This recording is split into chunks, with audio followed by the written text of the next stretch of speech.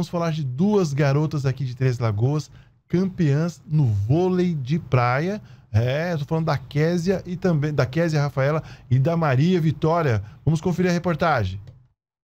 Késia Rafaela e Maria Vitória. Elas têm a mesma idade, 14 anos e no final de semana conquistaram o título de campeãs de vôlei de praia durante os Jogos Estudantis disputado em Nova Andradina.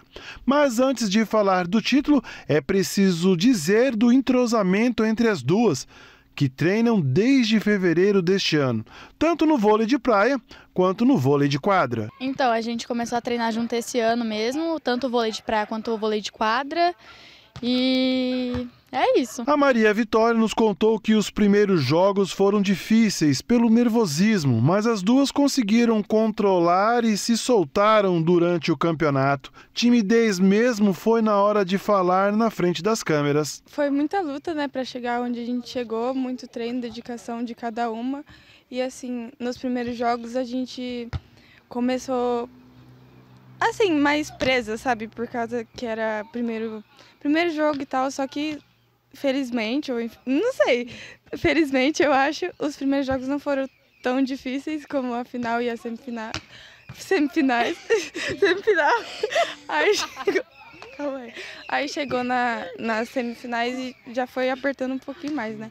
Aí foi o momento, assim, que a gente que a gente viu como seria, assim, tipo, dali pra frente, que a gente foi se soltando mais e pegando mais confiança uma, uma com a outra. Késia, Rafaela e Maria Vitória agora irão representar Mato Grosso do Sul nos Jogos Nacionais que acontecem em outubro. Mas antes, as meninas do vôlei de praia deixam as areias para ir para o vôlei de quadra na semana que vem, em Coxim, representando o time da escola Fernando Correia. As meninas nem tiveram tempo para comemorar e já estão em treinos para a Copa dos Campeões, que será em Coxim. Tudo que a gente pensa agora é tipo muito foco, dedicação nos treinos uhum. e é isso, muito esforço de cada de uma. Cada uma.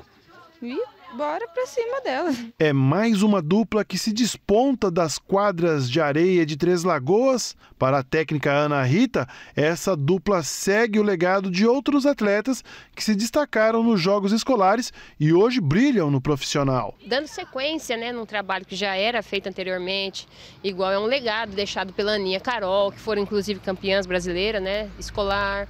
Teve as gêmeas também, nós sempre aqui em evidência, né, Três Lagoas, no, representando os escolares. Tô com a dupla agora que nós vamos de 15 a 17, o masculino é de Três Lagoas, né, que é o, o João Gabriel, o Hendrick. E agora as meninas mostrando que a nova geração vem com tudo e nós não vamos parar. Então, conforme os atletas forem chegando, a gente já vai fazendo um trabalho focado, visando, mesmo que seja mais para o fim do ano, a fase dos escolares, a gente sempre está visando o escolar, aí vem trabalhando o atleta anterior na, nas competições para ele chegar lá ele já ter essa vivência, não ser pego de surpresa. E nós vamos trabalhar aí porque nós queremos representar bem Mato Grosso do Sul aí na fase nacional.